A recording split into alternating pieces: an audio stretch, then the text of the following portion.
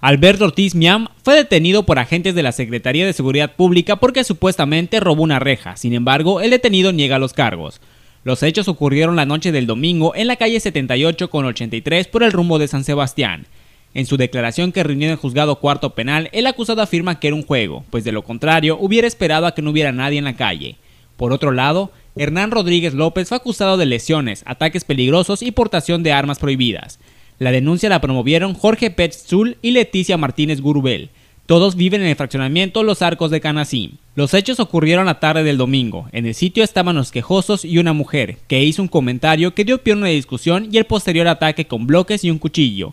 Entre los reunidos, la expresión no fue de su agrado y comenzaron las reclamaciones y luego los golpes. La información y las imágenes son de Rudecindo Ferráez García.